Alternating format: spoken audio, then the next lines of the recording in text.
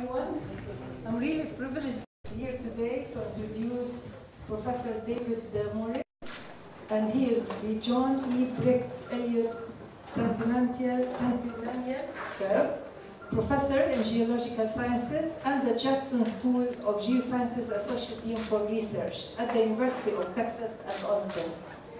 He holds an undergraduate degree from Sonoma College and an MS and PhD from the University of Washington before joining UT faculty, University of Texas faculty.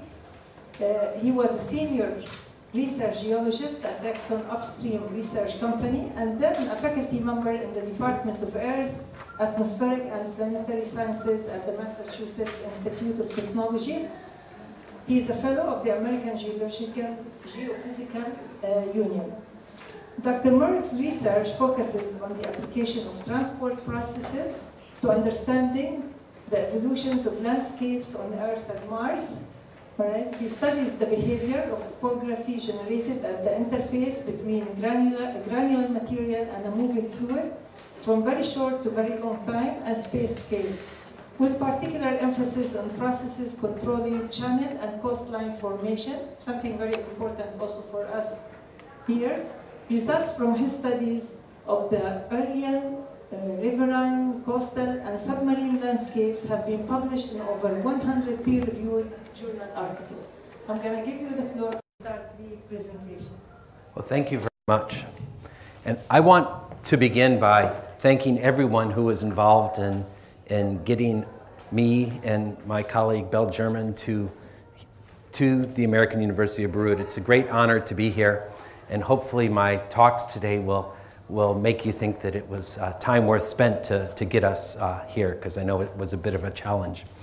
Uh, this morning, I'm going to be talking about extreme events and how we are at the University of Texas and in the Jackson School of Geosciences in particular, how we are addressing those by uh, developing a science to, to understand change associated with, with extreme events and then ultimately fold that into numerical models and other ways to predict what the consequences of those extreme events may actually be.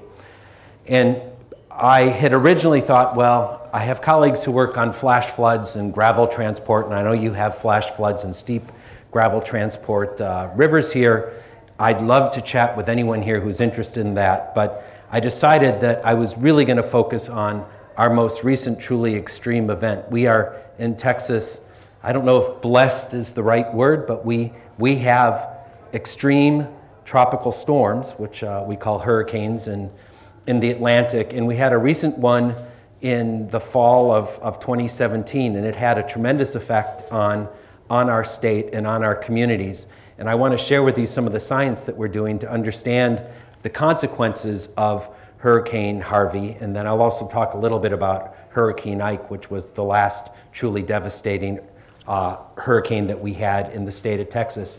And I'm going to focus in, I have many uh, co conspirators here, groups of students and other research scientists within the school that are involved in this.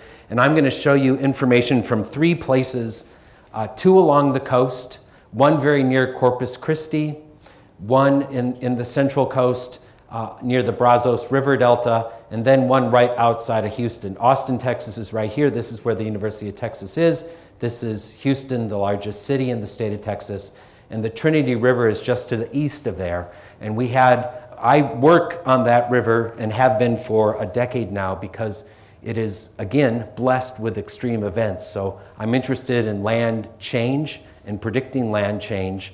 And Hurricane Harvey, in day and a half, dropped 1.1 meters of rain in, you know, in 48 hours. That, and what happened when that event occurred is truly amazing, and I want to show you some of the results of that.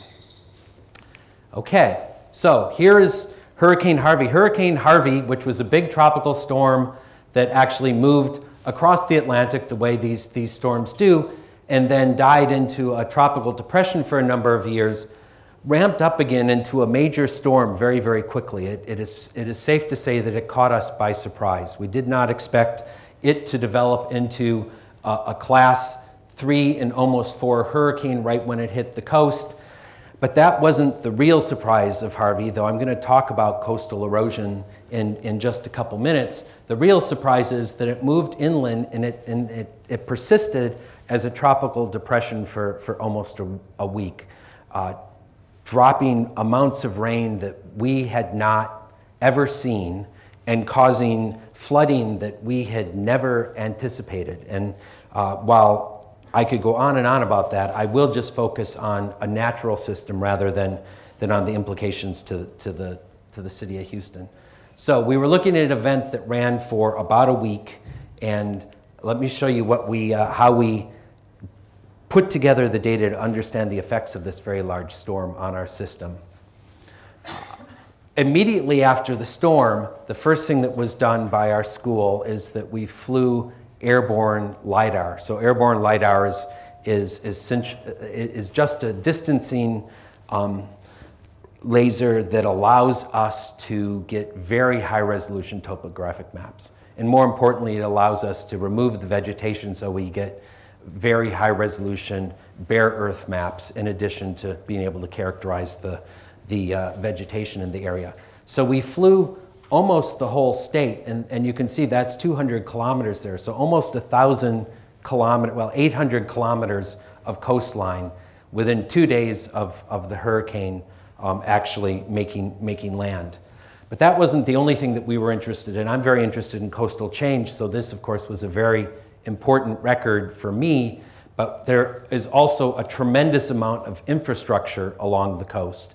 And there was a great concern about what the status, particularly of that oil and gas infrastructure is. So we're involved in understanding how it uh, may have been compromised by these storms as well. And then where the whole coast is a very important uh, migratory pathway for the birds of all of, all of North America. So a, a, great deal of effort goes into assessing the bird habitat along the coast, and we focused there as well. So here's sort of a roadmap for what we're going to do, and I'm going to make a, a pitch right now about what we're trying to do within the Jackson School, and, and particularly in this case, my, my research group. Uh, there is a lot of work done to understand how these storms lead to inundation uh, by coastal waters into coastal settings. And those kinds of models are pretty mature. And I'm going to show you the results of those numerical models in just just a bit. But these, these storms, the impact on the land surface is much more severe than just temporary flooding. There is significant change in the, the landscape that we need to understand better because that change happens in two places at the coastline and along rivers. And of course, people live at the coast and along rivers. So we, we need to understand that change. So we're going to look at modification to the coast that's, whoops, I went too far, uh, that's associated with net landward transport. There's also then a lot of net seaward transport that we're going to that we're going to look at, and we're I'm going to discuss something that we're finding that once we have a big event, the shoreline becomes much more susceptible to other modifications by much smaller events. One of the challenges we have as, as the environment changes is it's becoming clear that if a big storm happens locally, then the impact of smaller storms that may be happening thousands of kilometers away have an outsized um, contribution to change because the, the system has been so compromised. So I'm going to talk about that. And then we're going to look at what this flooding associated with 1.1 meters of rain in a day and a half actually did to, to our neighborhood. So, but first I'm going to talk about coastal change. I know a lot of your coast is, is rocky here, and, and our coast in Texas is far from rocky. It's a, it's a lot of, of, of fairly loose sediment, but but beaches and sediment are, are clearly important in, in, any environment that, that has a coastline associated with it. So I'm sure that some of this will be of, of interest to you as well.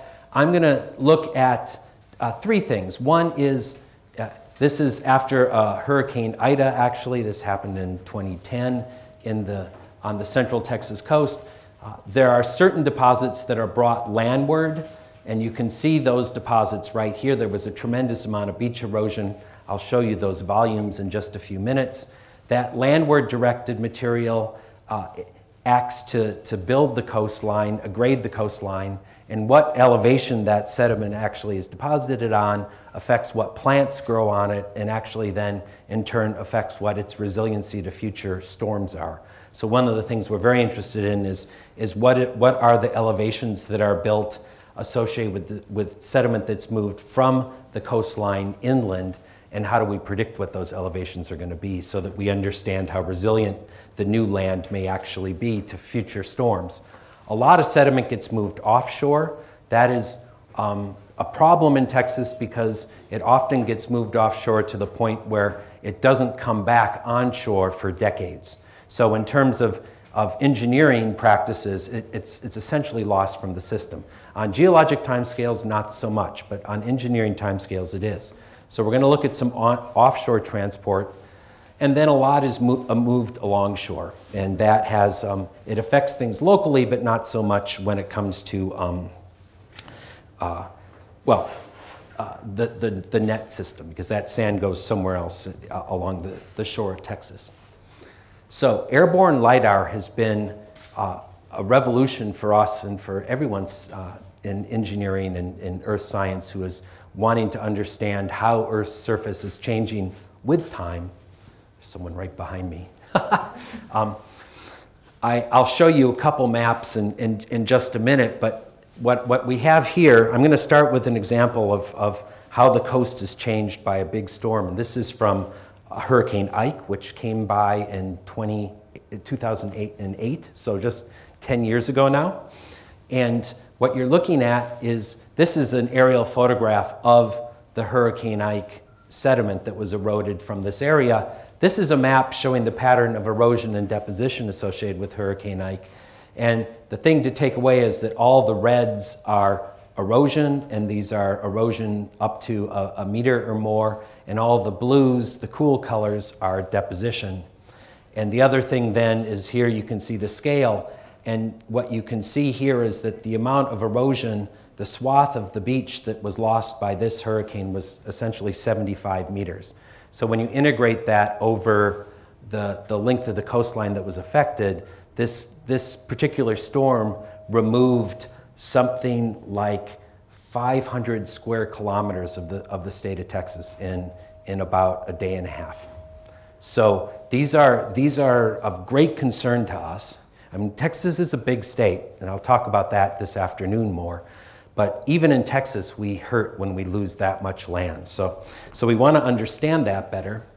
This is now what, what happened in that particular area. So what I'm, let me go back. We're going to look right along this transect right here, and we're going to look at the change in this system.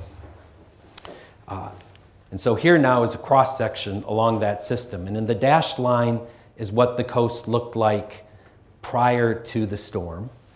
And so this is the beach, this is the coastal dune. There's a windblown sand dune, vegetated sand dune on the coast. After the storm came through, and this is the picture associated with that. After the storm came through, this is what the beach looked like.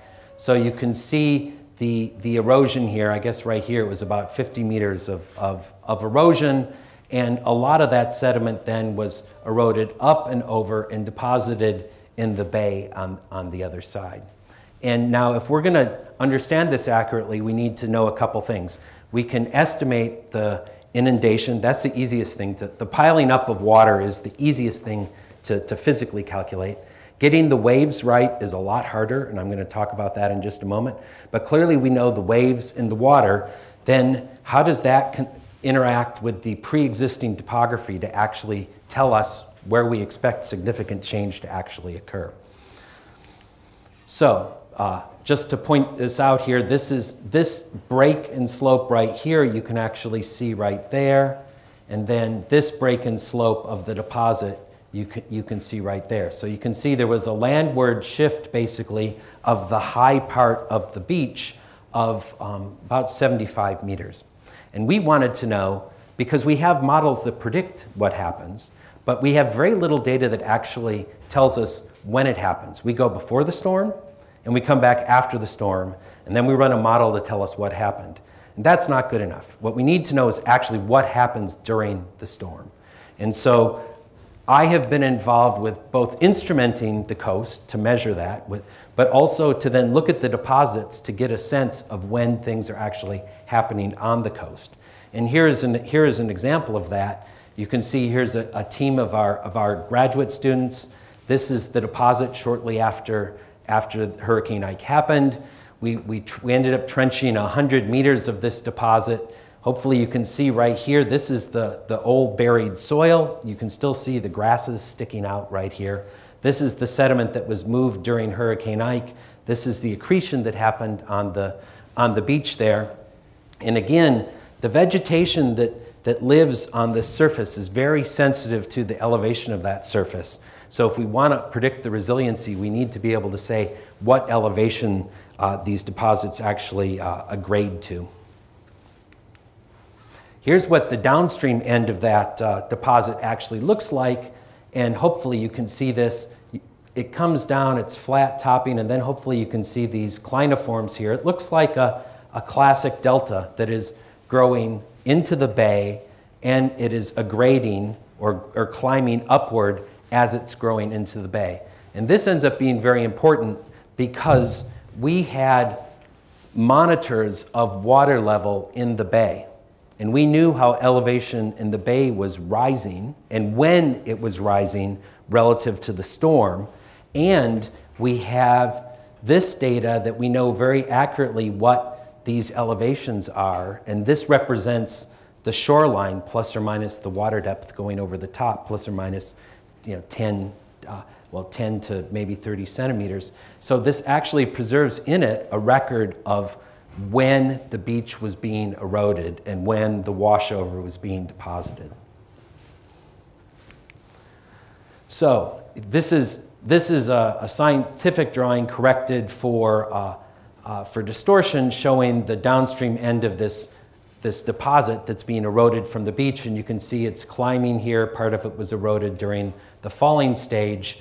And again, its progradation and aggradation was set by what was happening here with the water level in the bay, which fortunately we were measuring. And so here, here are the measurements of what the water level was doing. We're going to start there first. What we have here in the lighter gray, this is the water level on the seaward side of the, uh, of the coast. Of, of, in this case, it's a barrier island. So this is the open sea side, and the dark line is in the bay. A couple things to see. There's a lag in the, the rise of the water. That isn't surprising. The storm's coming from the sea. It's piling water up onto the coast and it takes uh, a while for the water levels to rise on the bay side just because it's, it's further away in, from where the storm is coming. But ultimately, the water levels in the bay are much, much higher than on the island, which also is not surprising because eventually the island becomes totally inundated. The water just flows over. But the land at the, downs, at the landward side, that's the ultimate backstop that water piles up on. So in Texas, the, the flooding is always more severe on the protected bay side. The waves aren't as bad, but the water levels are much, much higher. So what's interesting is that we were able to estimate, and if you're interested, we can talk about the sediment transport reasons for this, uh, but between that little delta shape that I showed you and our estimates of, of water depth moving the sediment over the, the fan, we were able to, to get an estimate of the water depths at which all the erosion on the beach happened. And this dashed line is when the hurricane actually made landfall. And what you can see is, sure, there's some, there's some, there's some uncertainty there, which translates into uncertainty in time, which is right here when this, all this happened. But what is very clear is that all of the erosion happened well before landfall.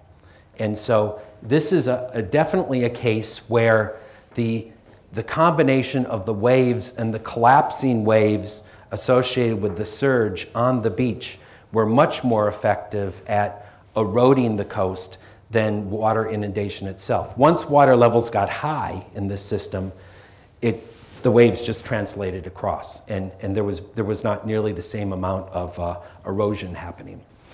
So that, that was not predicted by our numerical models of, of when this would happen, but it, it provides us with a benchmark for those, those sorts of models. And another thing, and, and for those of you who think about coastal waves, uh, this one is particularly important. If you, if you use SWAN or, or Beach or um, ADCIRC, all of these, they tend to calculate uh, local wave conditions associated with local wave depth. But when you look at this plot down here, there's wave height and wave period, and you can see these things are either in, in many seconds and many meters in height.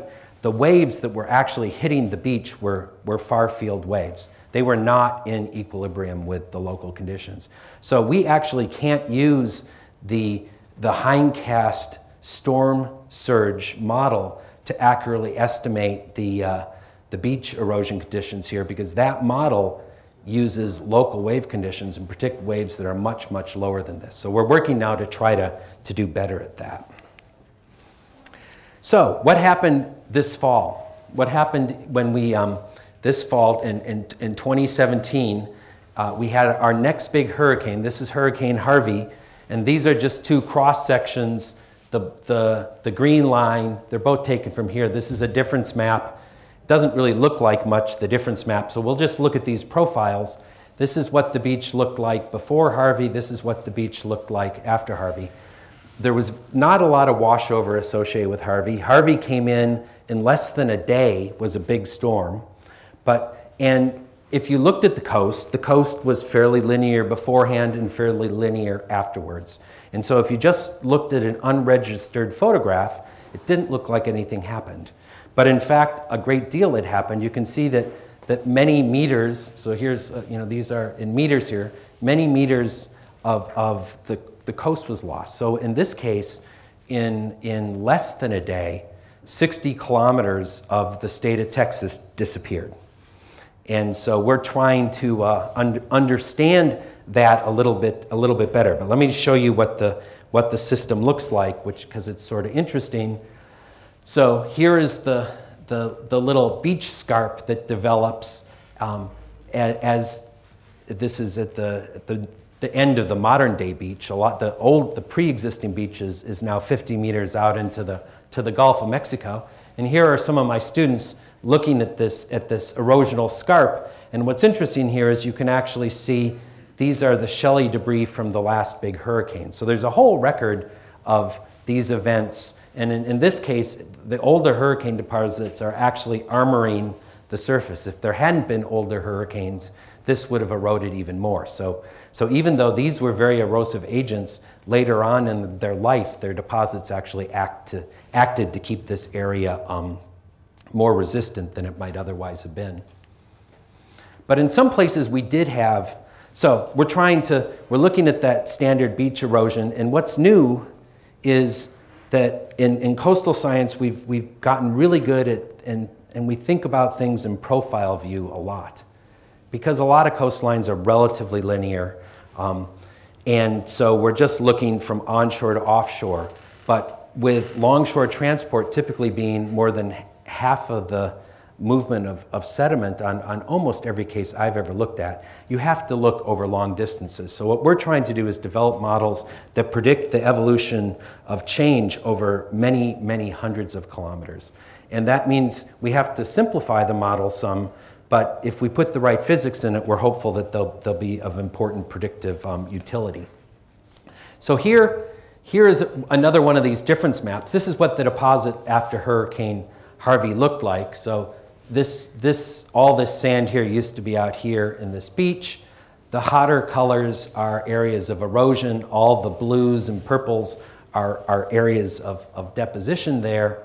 And this is an area that we were interested in, um, partly because uh, this is, ah, it's not on this map. The, we have a, a major intercoastal waterway that handles billions of dollars of traffic uh, every, every year. And it is actually, you can actually see boats going up and down it right there. we're in danger of this waterway becoming an open ocean case because there's so much beach erosion happening. This is, uh, in, this, in this area, there's only 100 kilometers, I mean 100 meters separating the open ocean from, from our intercoastal waterway, and it's a, it's a great concern. But we were interested in understanding, again, what was controlling the elevation of this deposit. You can see it building out into the marsh here, because ultimately that affects the kind of plants we put on here, that affects the rate at which the plants grow, the root density, and how susceptible they are to erosion by, by, other, by other storms. When we started to trench this, I'm a, I'm a geoscientist, so I've never, you know, a, a, trench and a machete are my operational tools. I mean, and so are my computers and things, but I'm happiest with a trench and a shovel. And so you can see here's, here's one of our undergraduate students uh, monitoring this, and we were really surprised. So here's the deposit, but right in the middle of the deposit, there's, there's a layer here that clearly is a time of shutdown. So something, it, the system stopped, and then it started up again. And my hypothesis was, well, okay, Hurricane Harvey came in, and there were, so this, these are tide records. Pay attention only to the green one right now. Um, these are showing that the, the elevated tides and water surface elevations for a few days. And I thought, well, maybe one of these low tides was, was a time of shutdown in this area. And, and we're just, we're seeing that activity recorded in there because I want to know how long these things build for and uh, to, to, to do a better job of modeling them. So just in big bold letters there, you know, it's always good to make a hypothesis. We always go out and the first thing we do is we write down our hypotheses. This is what we think is going on. Because you learn only, at least I learn only, when I say this is what I think is going on, and then when I'm wrong, which is still more than half the time, I, have just given, I've accepted the fact that I'm always going to be wrong as much as I'm right. Um, I learned something. It wasn't that at all for the following reason this is, this is the deposit. This is an aerial photograph that was taken right after the storm. That, that photograph was taken at the same time this distancing laser high resolution map was being collected. We went and surveyed in with just a laser theodolite where the deposit was um, about 46 days later. And it, we had to wait because the bridge was washed out and it was not trivial to get here. So we came later, and you can see that there was a lot of the deposit that had moved, but it wasn't moved by Hurricane Harvey. It was moved by something else. It turns out that we had a remarkable hurricane season in the southern US in, last fall, and there were three particularly big ones. There was Hurricane Irma that hit Florida very hard and the whole southern east coast. And there was Hurricane Nate that uh, hit eastern Louisiana and Alabama. And then we came out at this, at this time right here. It is very, and so what I've plotted here is wave energy per unit area. This is Harvey. Now, this was the local storm. This was cl clearly the big storm. But we've now seen this twice that a big storm that hits locally sort of unzips or uh, it, it, it removes all the protection, particularly in terms of vegetation, from the, from the area, so that later storms that, I mean, this was thousands of miles, both of these were thousands of kilometers away. But yet one of them significantly reworked the Texas coast. Now, when we talk about storms, we always think about just local. You know, when, when, Tex- when you're in Texas, everyone can can read off, well, everyone who is obsessed with hurricanes can read off this, you know, all the hurricanes that hit Texas. But what we've now found in the case of both Harvey and Hurricane Ike is that they were such big storms that storms that actually hit Florida impacted our coast. If, if that other storm hadn't happened beforehand, we probably wouldn't have seen much of an effect. But because the big local storm devastated the ecology of our coastline. Far field events totally impacted our area. So we have to, we have to look beyond the state to really understand how susceptible we are to, to change. So Hurricane Harvey also did something really fascinating. Uh, which was reverse flow. So this is a map. This is from, from ERDC. So this is the big coastal uh, surge and uh, hazards assessment model that comes out of University of North Carolina, Notre Dame, and the University of Texas. And this is, this is, this is water surface at the time of the storm um, making landfall. And what you can see here, the hot colors, the yellows, these are high water surface elevations. The cool colors are low water surface elevations. And on Jose Island, San Jose Island right here, you can see that the water levels were actually higher on the back side of the barrier island than on the seaward side of the barrier island. And this drove tremendous over, overland flow in the opposite direction and did some really cool things that I'll show you in just a minute. That is particularly interesting because reverse flow currents like that move a lot of sediment well offshore and it is definitely lost from, from our system. So here's what that area, so just that area that I just showed you, this area right now, we're going to look at one of those high resolution topographic maps. Here's that topographic map pre-storm, so just a few months before the storm. Uh, this, is, this is the ocean, this is the water surface in the darkest blue here. You can see there, there are a couple beach ridges in here. There are remnants of some older beach ridges in there. You can see some evidence of older hurricane or, or tropical storm wash over there. But that's the beach. Um, about six months before the storm hit, that's the same part of the beach uh, right after, two days after the storm hit. And these channels, which I think they look like heads of broccoli, my student thinks they're bao baobab trees from uh, Madagascar, um, the water drained in and out and cut. Uh, these channels are as much as two meters below sea level um, and, and, and removed a tremendous, tremendous amount of, uh, of sediment from the system. And exactly how these are developing are something that we're, we're working on right now.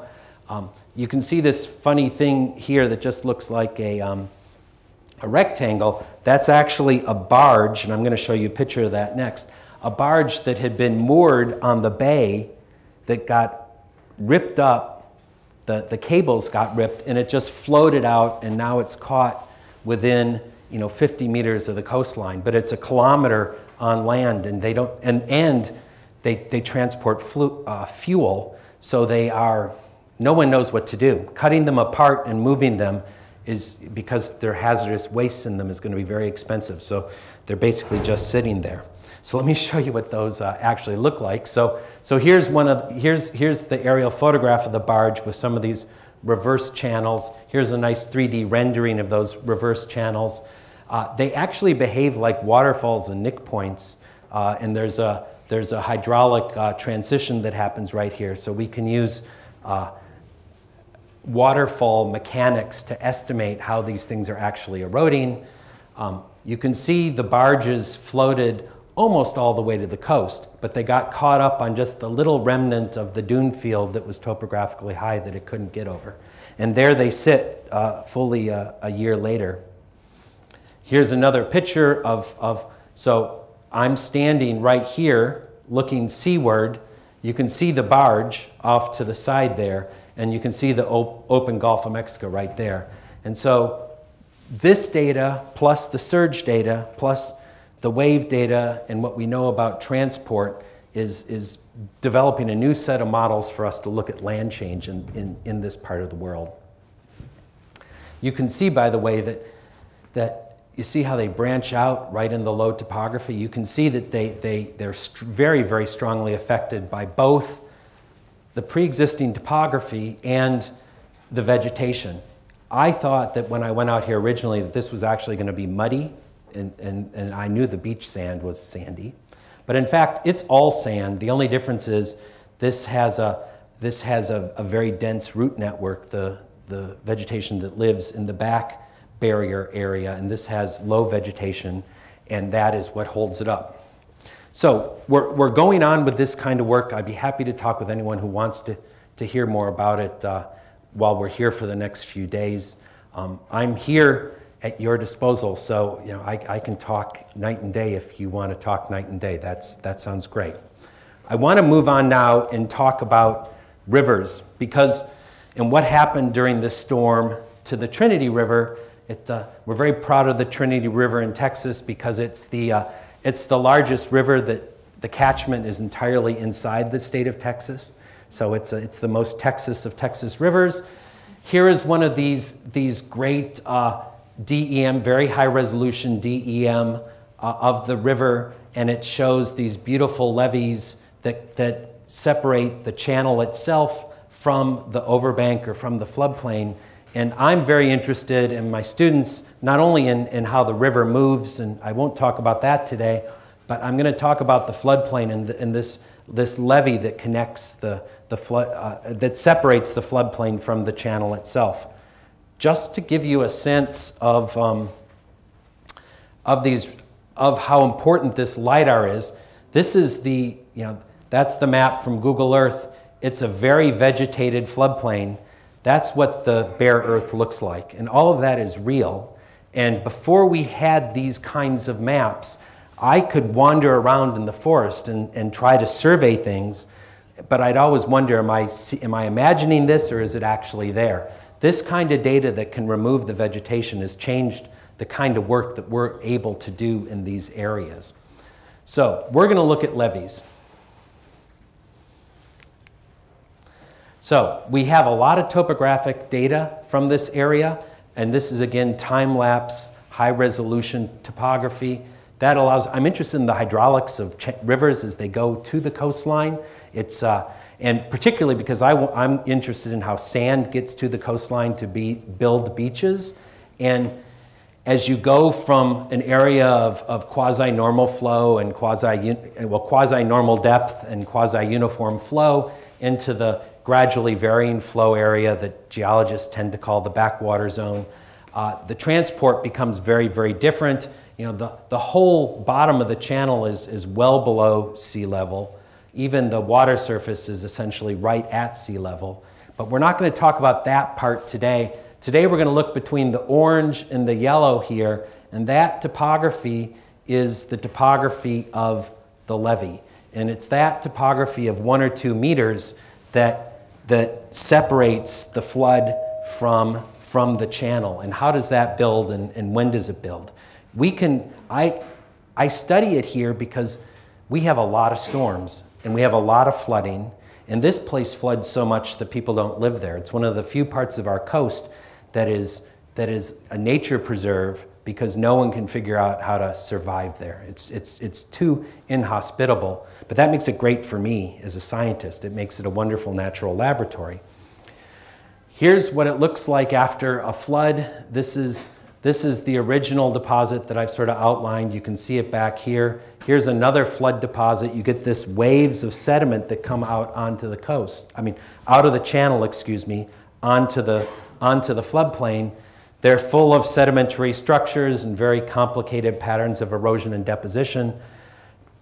And I can try to invert the topography and the grain size and the structures but what I really want to do at the same time is actually make measurements while the floods are happening. So we have cameras up in trees everywhere watching the floods. And then we have monitoring systems on the floodplain as, as well. But Hurricane Harvey, we weren't predicted, we weren't prepared for. Hurricane, so here's Houston. It's our big city. The Trinity River is, is, just, is just right out here. And this event that deposited this 1.1 meters of water, rained over a meter of water in two days, allowed us to, to try to understand the flows that, that build the floodplain that we, actu- that we actually see. Here's an example of the, what the gauge and the stage did. Um, first, this is the gauge height. Now, we're in the US, and unfortunately, we still use feet. But you can see this is a little over, this is 35 feet. So, you know, this is, the, the, the river water surface went up a little over, over 10 meters in um, actually, uh, you know, about, about two days, if you're going to be generous, a day and a half. And it rained 1.1 meters and then the gauge failed. So It probably actually rained about 1, 1.4 meters, but we don't actually have a, a, a direct record of that. So what does this actually look like? So, so for the students here, I wonder if you do this. So what we did is we went out and measured. So what you're now going to watch is a video of some of my students. Uh, I turned off the sound because the language is very colorful. So, um, but you can probably see here's an acoustic Doppler velocimeter occasionally on the side there. This is the forest on the floodplain, and there's they're in uh, one and a half meters of water that is actually pouring out of the uh, river. And so hopefully you can see that right, right here. There's the river. Um, and it's, it's moving really, really quickly. Um, and here are the measurements of that. So we're going to just follow one of these floodplain channels down. And so these are each monitoring stations where they measured both sediment transport and fluid velocity. And this, these are the velocities, depth average velocities, um, going out to almost, you know, well, going out 400 kilom, uh, excuse me, 400 meters out onto the, onto the flood, floodplain. So through a considerable forest, a very dense forest. You can see the, the exiting velocities here, and you can see the, the flow velocities here. The exit, exiting velocities were, were 70 to 80 centimeters a second which is a pretty high coastal river velocity period, and yet this is flowing through the forest, and it, and it didn't decrease very quickly. I had expected it would be almost an exponential decrease in, in water velocities away from the, from the shoreline uh, of, the, of the river. Instead, it was a linear decrease, and this in, in water depths that were, were between one and two meters in, uh, in depth. This water was flowing so fast that it, and, and it was deep enough that it, was, it turns out it was flowing out of this bend of the river because the bends go around like this, all the way across and then entering the river on the other side. So we had both a very strong river flow and then as much water flowing right over the bends across and moving a lot of, a lot of, a lot of sediment. So here you can see there's the channel. Here's my students in the boat. There they're pointing out like they're trying to instrument, uh, and they did. They put up a bunch of uh, cameras and things in the trees. I, I, forgot to bring the picture, but they, we went out a couple weeks ago to change the batteries, and the water here was two meters high, so it, and they put them up here. So we, we went out there and we looked up and we go, huh, how are we going to get to our instruments? And, and we tried to climb the trees, totally failed. So we, we have to go back in, in, in a couple weeks with a, with a ladder. And I'm not very happy about it because hiking, carrying a ladder through the forest is not going to be fun. But we now at least have a sense of what the upper limit on the velocities and depths that are associated with building these tremendous levees actually, actually can be. So, uh, we saw that before. I want to end with um, uh, two slides about where do, we, where do we go and what does this mean for, for society. Because one of the things that we're grappling with, and our challenge from our, the president of our university is actually to, to be societally relevant, you know, to, to, to not only do our science, but then make sure that it is presented in ways that, that the stakeholders, which are basically everyone who lives in the state, uh, can, can take advantage of what we actually know and understand. And coastal communities are a great example of this, and mitigation is a big, big issue. This is, these are now from going back to Hurricane Ike. This is in March of 2008, and uh, you can see this, this community. All these are individual houses. The, and all three of these maps are from exactly the same place. This is um, after Hurricane Ike came through. Almost total devastation. 95% of the structures weren't just destroyed, they disappeared. They were destroyed to the point that they were just timber and things. And this is what it looked like um, last year. And all the houses are rebuilt. They're even fancier than they were then. Um, this is the third time in the last hundred years, if I get this right, yeah, I think it's three, that this part of the Texas coast has been totally obliterated. And yet we keep on rebuilding it. And the question is should we do that? And particularly, should we be subsidizing that through federally financed insurance? Um, I have opinion, everyone should have an opinion, but we need to ask ourselves is this a smart thing to do? Or is there some sort of nature based engineering, or should we live in other places to work on this? Unfortunately, this idea of nature based engineering, where we, we let transport help us, while it's been very well received in the Mississippi Delta of the US, what we want to do in Texas is essentially behave like the Dutch. The, the proposal here's Houston again, here's that area that has been totally devastated. They want to harden the whole coastline.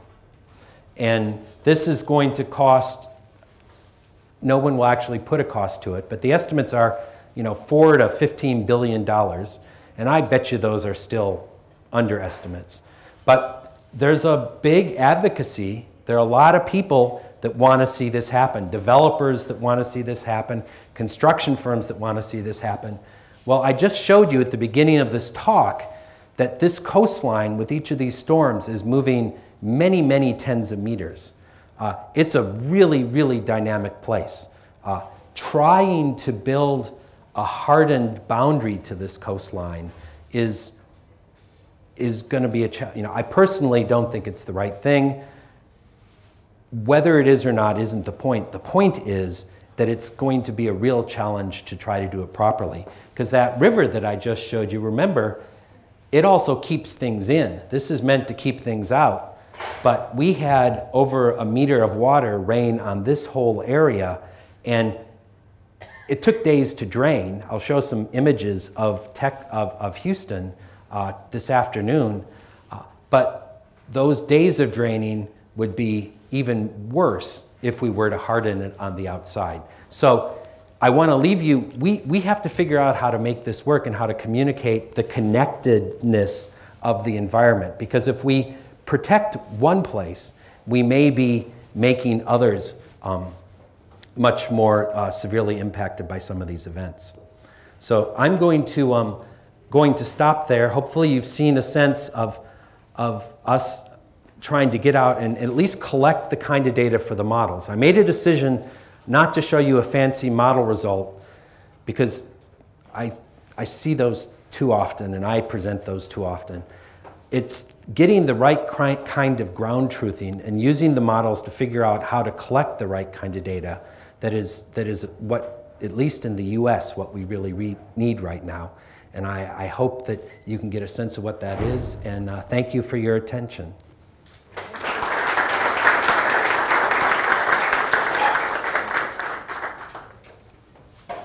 Yes? I have a class I have to run. Ah, okay. I might as well get a question. Is there any blessing for the hurricanes? I'm thinking of dumping in some nutrients into the ocean for aquatic life.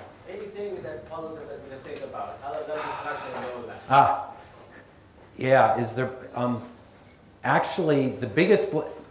the blessing is not on the seaward side because it it turns out that all the fresh water that comes out actually tends to set up a local anoxia because you get a fresh freshwater lens. The blessing happens to be um, in the in there's a lot of farmland in this area, and all of that flooding actually has has has really helped uh, add to, to some of those some of the soils. So it, has been good for agriculture. Great, thank you. Yeah. Oh, yes. Uh, um, I also have a question. When we talk globally about climate change adaptation and these kind of extreme weather events, and there are a lot of concepts. You mentioned the Dutch that um, go away from these kind of cliff structures and move to more dynamic structures, yep. natural structures. Um, so I would be interested to which extent are alternative approaches to building a seawall discussed in that kind of area, how that can be useful? So that's a great, great question. The great question, the, the question is that the Dutch, who for many years led the way in just building hardened structures are now actually leading the way in, in what I call nature-based engineering, where they're trying to use the natural system, take advantage of it to, to build um, systems that are more accommodating of, of rivers or, or natural coastal processes. Um, in Texas, so far, not so much, but in Louisiana, the Mississippi River Delta, which is you know, just out over here, where we're losing, you know, a, a football field's worth of, of land, you know, every, every couple hours. Um, uh, we are trying to, to do that more. We, meaning the community. There, it's a combination right now, at least in the master plan, of, of some hardened structures to protect cities like New Orleans and Baton Rouge and some of the major infrastructure, and then a lot of softer engineering for, for areas of, of, lower, of lower population density. Yeah. So we're, we're, we're getting there. Um, it's, it's tricky. Can, can I just tell you something else about that area? The, for years, the river has been hardened in its banks, so we're losing all this land, but it means that the fisheries, the shrimp and the oyster and the sea fish are very near the towns. So the fishermen, and that's a major part of the economy there, you know, fisheries and energy are the big parts of that economy.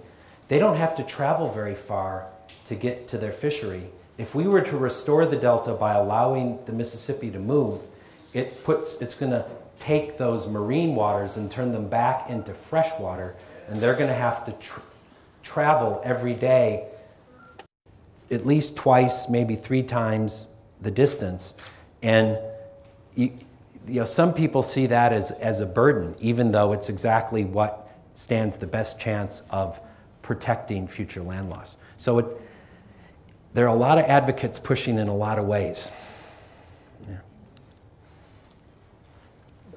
The fishery, if they build such a big wall, I mean, all the ecology of the seaside will be heavily affected. Yes. And they will not collect what they are collecting today, not even maybe 15 or 20 percent.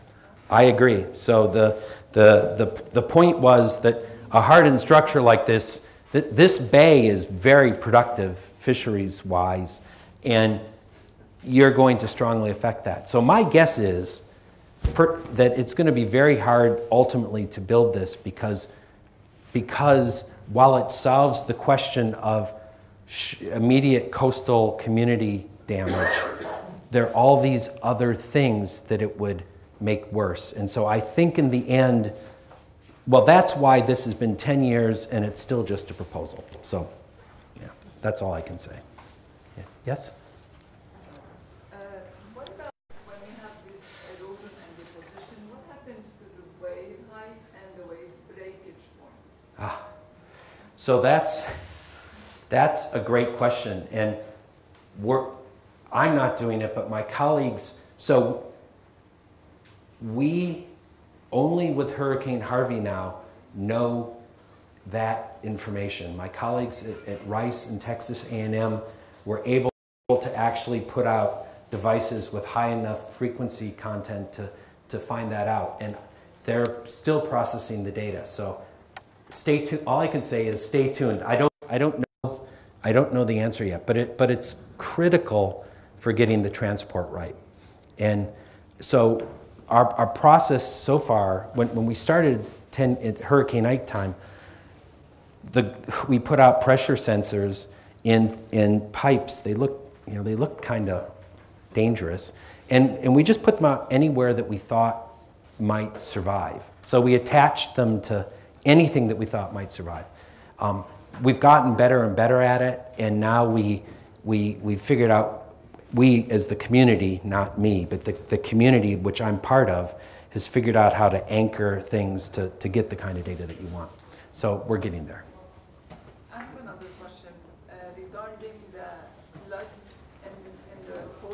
Mm -hmm. How much does this affect biodiversity and the shrubs and the small plants? Um, uh, particularly with, so the question is, what does that flooding do to the, to the small plants and the grasses? It, um, it devastates them, yeah.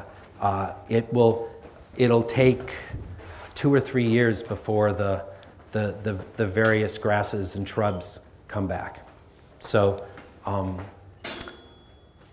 it's clearly been doing that. They do come back, and, and one of the things, uh, it, some of the native, more native species come back more quickly in these extreme environments. So it, I, it, it'd be interesting to, to see if, if it's affecting the native versus invas- invasive species. I, I suspect it is, but I, that's something that we haven't yet determined. The trees survive, Yeah. but that, but the, the others uh, dis- disappear. It's really severe with the hurricanes, of course, because the plants on the coast are, you know, there's a very shallow freshwater groundwater aquifer, so they're all freshwater plants. And the salt, I call it salt burn, but the, it, everything is, is, is killed for a while. And again, then the native species come back pretty quickly, so it, it helps that way. Can I ask one more question? Yes, What happens now if we reverse the flow and we talk about droughts instead of hurricanes? Yeah. I- In your part of the world, Yeah. you're talking about hurricanes. Our part here, Yeah. we talk, we talk about droughts. and- Yeah. And, and less water. Yeah.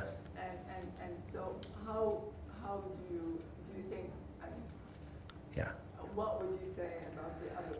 Well, so- the yeah. basically. Yeah, so um, I'm going to talk a little bit about those floods this afternoon, or one of those floods this afternoon. Um, the, I, I actually think that Austin is along an old fault zone that uh, causes relief of, of a couple hundred meters, but it's the first relief that all of the humid tropical air from the, from the Gulf hits. And so we are very prone to extreme rainfall. You know, getting 20, 30, 40 centimeters of rain in, in a day is pretty common. So we have a lot of flash floods, um, but yet we also have droughts. So um, I'm going to talk about the role of soil, soil moisture in predicting those, those droughts. Uh, we have uh, this afternoon because it's interesting how we can have 40 centimeters of rain fall on a catchment, but if, if the soil is dry, there's almost no response in the river. If you do that three times in a row, that third event can produce, cause the river stage to go up, in, in the case I'll show this afternoon, 11 meters in a couple hours, and with a devastating flood. So, so the capacity to store versus not store and produce these floods, floods is huge. And, and one of the things that I'm not going to have time to talk about, but I, in a talk, but if you want to talk about it, we actually have very large flumes, like 100 meter flume, um, a couple meters across, a couple meters high, where we make flash flood bores to look at the transport of sediment with, in the transient. So, you know, steady uniform flow is a great way to, great place to start to think about transport, but there's very little about a flash flood that is well characterized by steady uniform flow. So I could show you some great videos of that and what we're trying to do if you're interested. Yeah. Oh, oh. Yeah. One last question.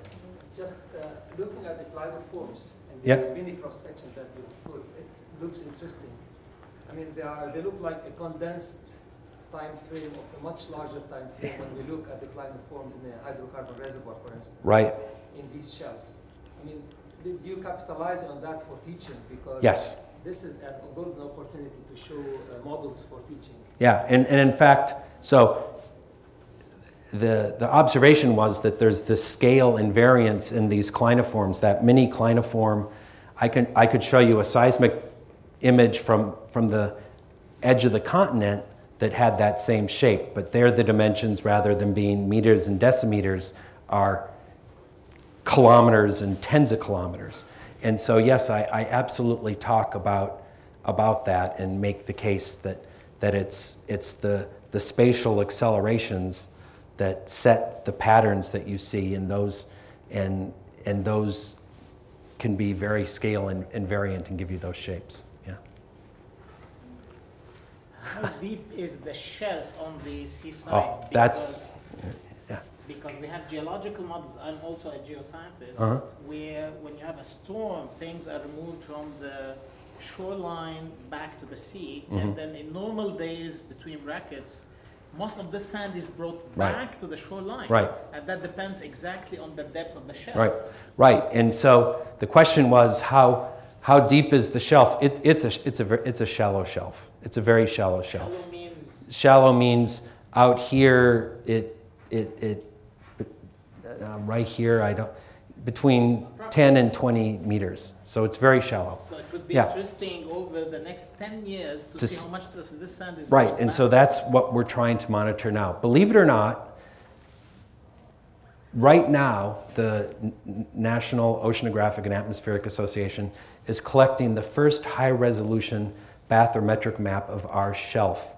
Um, we've, we've, we've never had one, so, um, but we're, the wave climate here is pretty, uh, we have small wave. It's, it's microtidal and, and a pretty protected gulf.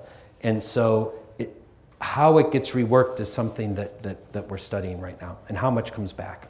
But are- Yeah. Because there are such models. Yes, yeah, and we're, yes, and, and we don't have a, a very accurate one yet for here, but I totally agree with you.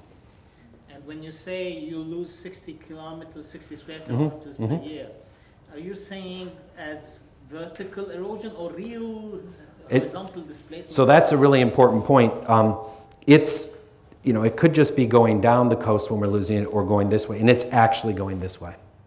That's how much you lose, Yes. the horizontal distance. Well, that, that's, a- yeah, that, that was just from that one storm.